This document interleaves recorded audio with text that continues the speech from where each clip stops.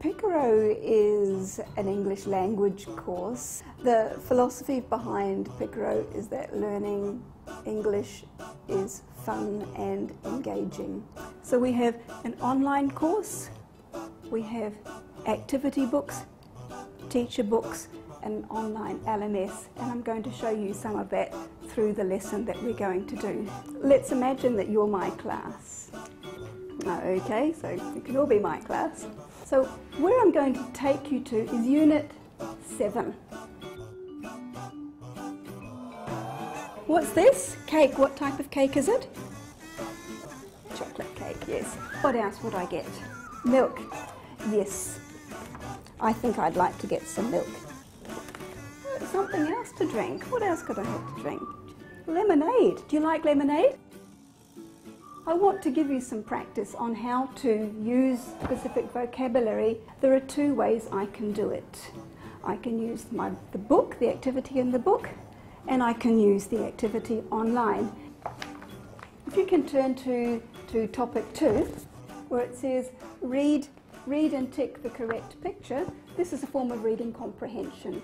Um, then we have a second activity, which looks at specific vocabulary for the lesson. The letters are jumbled and this is a typical way to, to test young learners who are beginning to become a little bit independent with spelling but need some support. It's also an exam task in the Cambridge Young Learner exams. We can use the online resources in class as part of the lesson or you can use them at the end of the lesson. Here we have um, the planet map for Unit 7 and you can see it's very easy to find the topics. And so if we click on, on topic 2, we have our avatar character who is Jamal and Jamal is going to play the first game. Bread. So this is a classic Pelmanism Bread. or memory game. Bread. If your teachers are not comfortable with pronunciation, they've got Chocolate.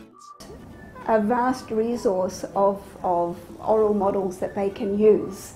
We have over 300 interactive computer games.